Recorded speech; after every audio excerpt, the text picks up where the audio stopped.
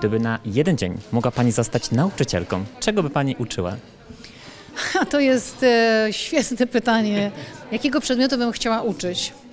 Dlatego, że chciałabym uczyć przedmiotu, którego nie znosiłam w szkole, a jest to geografia. I naprawdę, e, no, zwykle to jest kwestia nauczyciela, wiadomo. Ja po prostu byłam tak zniechęcona do tej geografii, przynajmniej w tym kształcie, który był teraz, ale czy wtedy, a teraz jest w sumie niewiele się różni.